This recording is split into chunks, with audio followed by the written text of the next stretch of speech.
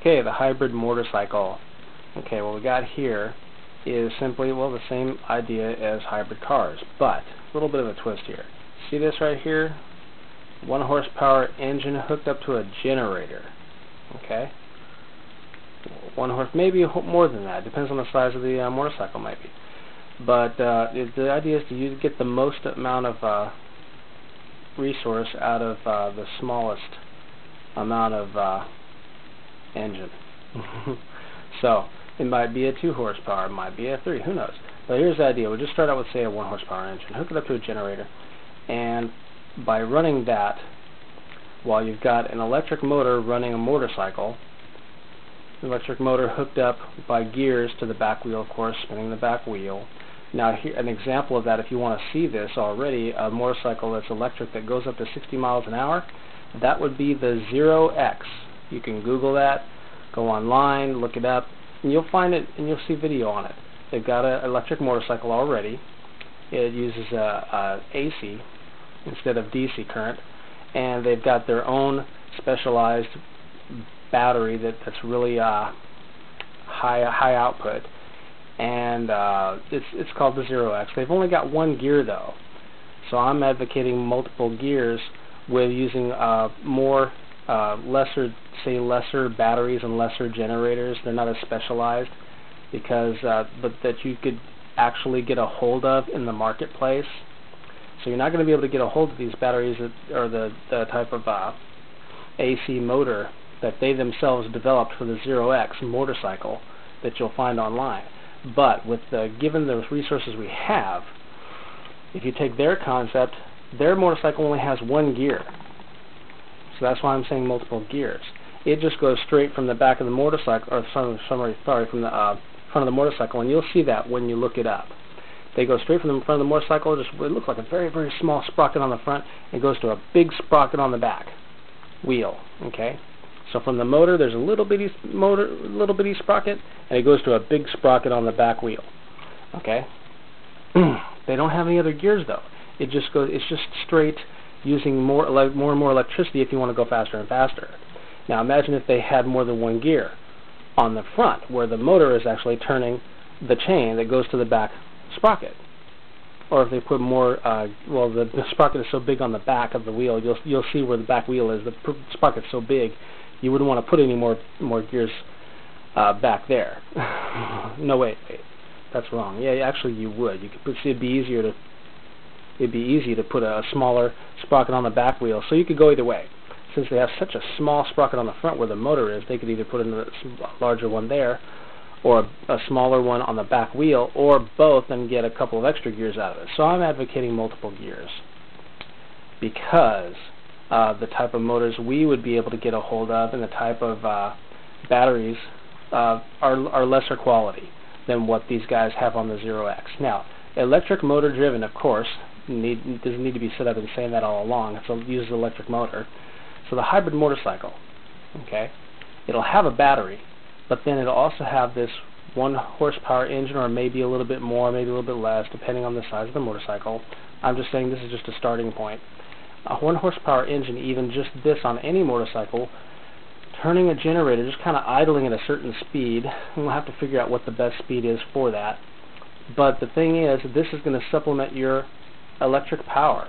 While you're running your motorcycle and burning energy from the batteries, this is going to be restoring a, a portion of that energy and trying to is running while you're running your motorcycle and the motorcycle is the smallest smallest type of, of actual uh, motor vehicle on, on the roads that you can use. So this is the perfect place to perfect this idea right here of using uh, supplementation, using a, a combustion engine to supplement the battery power by hooking it up to a generator, creating energy while you're driving your vehicle on battery power. This is restoring some of it. And of course you could also possibly have regenerative braking, which will provide a portion of the energy you've used to get the motorcycle in motion. Uh, later on, what I want to draw your attention to is this right here being run by this, okay? The engine, as has been proven on Mythbusters, since a lot of people in my comments like to mention Mythbusters, an engine, a combustion engine can be ran purely on hydrogen gas. So later, instead of using gasoline in this engine to make it even more uh, not just uh, fuel efficient but cleaner, you can turn this into uh, a hydrogen burning by by simply just changing out the, fuel. But you have to have some kind of system in place. I guess uh, it's, it's, you have to have it looks like a uh, one of those tanks you'd use for diving that holds the, the hydrogen gas. You guys have come up with something. You know, just trade out the gasoline and, and put in, in its place, put it in hydrogen gas tank of some some kind to run the engine. Then you not only have it clean burning, but then we're moving away from fossil fuels. We're already now. I wanted to do something that I could give you guys right now. That's why I've come up with this. Okay, to, to let you know. It's not like it's something new. We already know about hybrids, but I wanted to let you know about this right here that you can do right now to get better gas mileage on your cars. Switch out your combustion engine for electric motor to drive your car and have a very small combustion engine just to, to run a generator to help supplement your battery power and boom you get more out of it you can instead of just running say for a hundred miles or 200 miles by having this little thing right here an engine running a generator creating electricity while you're using some of it up from the batteries you're replenishing it while you're driving and that is going to increase the distance you can go every time you charge your batteries. And this could be running while you're stopped or at work, uh, at, a, at a, the grocery store or at work or something like that. You can let this just keep running underneath the hood and restoring your batteries and have it automatically shut off when the batteries get to a certain uh, charge level. so there's a lot of stuff that goes into this. Now later on, when you get to the, when you guys have perfected uh, the combustion engine running on hydrogen, you may not even need to switch out your, your combustion engine to an electric motor. Because you can just, as Mythbusters has proven, run a combustion engine, well not a one horsepower, it's whatever size engine you actually have in your vehicle. You may just, just instead of doing hybrid version, just go ahead and straight, go straight to, to hydrogen burning. Customize your car to just take in hydrogen instead of uh, instead of gasoline. So that's another way to do it. But right now, this is the idea here: to take the motorcycle, a small, smallest vehicle you can drive on the road, perfect this idea right here using this, then move into the automotive industry, where you're talking about cars, trucks, RVs, and so on and so forth.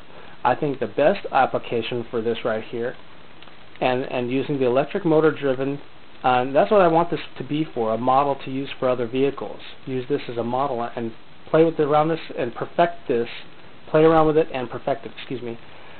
We need to get into the, the truck industry. The trucking industry is, the, is, our, is our bloodline for all of our products and services. They come by truck.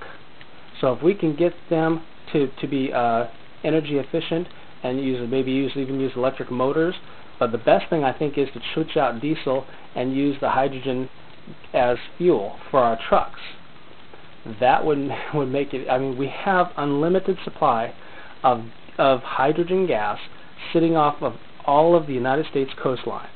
It's called water. We know about electrolysis. We know how to separate hydrogen from oxygen. We don't even have to have it shipped to us from another country. We have unlimited supply. It's like having an unlimited supply of oil.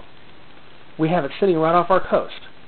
Put plants up right on the the coastline to to pump the water and maybe maybe we could just distribute the water to begin with to all parts of the country and the plants can be in each um, so many cities in each state and from there the hydrogen gas is distributed to all the cities in the form of like you know hydrogen you know gas pumps I don't know something like that but that's the general idea we need to move to hydrogen because we have a, we, we don't even have to to to pump it. it. We don't have to have it shipped to us from another country. It's sitting right on our coast. And we don't want to use our groundwater because that's what we drink. But then there's also those atmospheric condensers, like I think it was shown on TV, where they use um, uh, they condense the moisture from the air and combine it into water in, the, in Africa someplace, so that people can have drinking water. We can do that here.